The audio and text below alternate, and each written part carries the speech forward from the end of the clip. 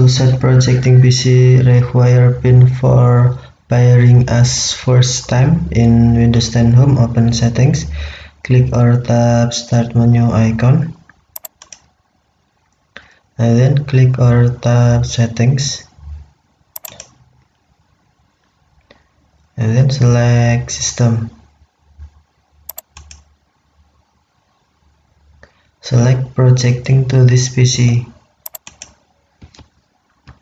and then tap required pin for pairing drop down menu and then select first time.